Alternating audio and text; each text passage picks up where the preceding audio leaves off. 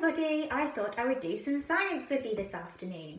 So before we start, check that you have an adult's permission to use things around the house and check that you've got an adult on hand to help you as well. Uh, all you will need are, I've got two glasses uh, with quite a wide rim at the top, um, some water, tablespoon and some salt and an egg. Make sure you wash your hands really carefully before you before and after you use the eggs as eggs can carry some germs on them as well, make you feel quite poorly. Um, what we're going to do is we're going to try and make the egg float in water. So this glass contains 200 millilitres of just normal tap water. Okay, watch what happens when I put the egg in the glass. Gently. The egg sinks to the bottom. Now, in this glass, can you guess what I've put in to make the egg float? I have put in, oh, maybe want to use a spoon to help you get the egg out. I have put in some salt. So I just kept adding tablespoons of salt and stirring it really well. So I've got adding just one more tablespoon of salt there, but I already have quite a few inside as well. And I'm stirring the salt really, really well until it dissolves and makes a solution with the water. Now dissolve means that the bits of particles of salt break down so you can hardly see them and it becomes part of the water. I'm going to keep stirring, keep stirring, keep stirring. See all the salt granules at the bottom? I want to get rid of those. I'm going to keep going. Count to 10. One, two,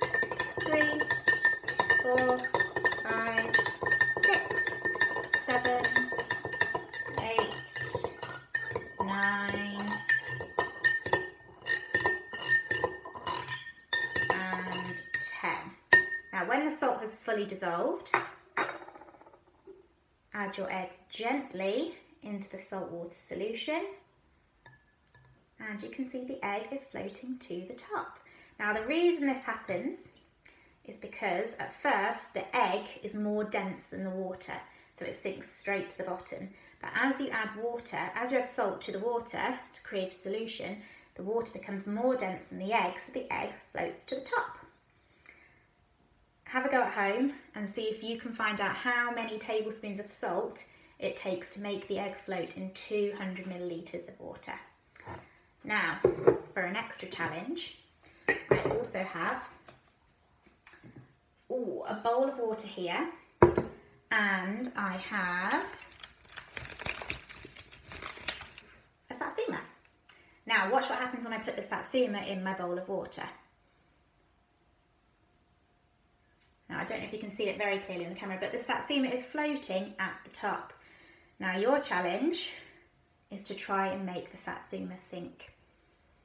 Okay, I'm going to count to five. If you want to try this yourself without the answers, now is your time to pause the video. Okay, one, two, three, four, five. Now I'm going to tell you how to do it. Okay, last chance to pause. Okay, what you've got to do is you've got to peel the satsuma.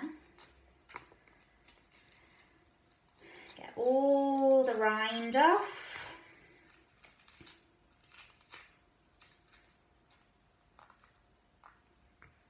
And this time when I place the satsuma in the bowl, it sinks to the bottom. Have fun, let me know how you get on. Bye everyone.